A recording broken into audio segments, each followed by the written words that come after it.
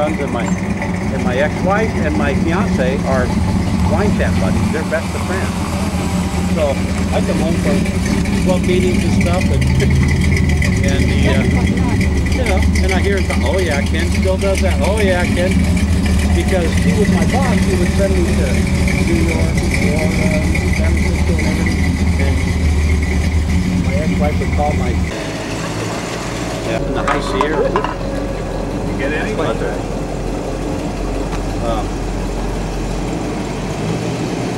yeah, we went up in the High Sierras fishing and did pretty good, except it started snowing.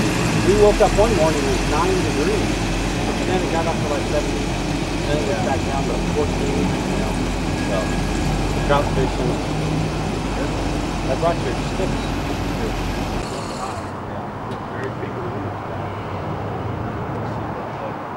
I put an extra temporary fan Yeah. that Oh, right, blows down there. on the engine. Good idea. auxiliary. it? Everybody laughed at me, but boy, Yeah. in stop and go traffic on the freeway, Yeah. I had that fan going through the radiator and then this one blowing. Yep. That engine stayed right at about 165 Excellent. degrees on the freeway, Yeah. all the way out to, Yeah.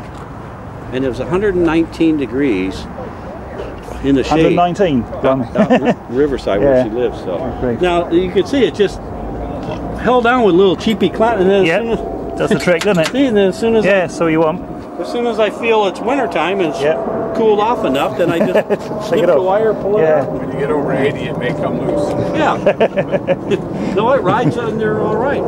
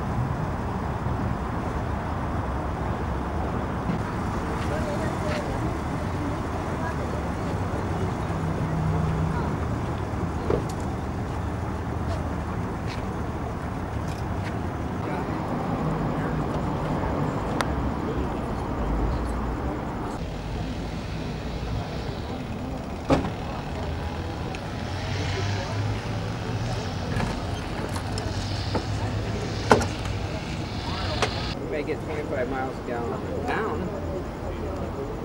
Pero me tengo que ir allá. I guess it's a highway. ¡Ey, me falta el morado! What, hmm? what's the function of a radius bar? What's the function? A puffer. Huh? A puffer, does that mean cigarettes or? anything? We're blowing oil. Either that or it smokes, huh? I Is just that say. the same? Yeah. The windshield post? The windshield post is the same? Yeah.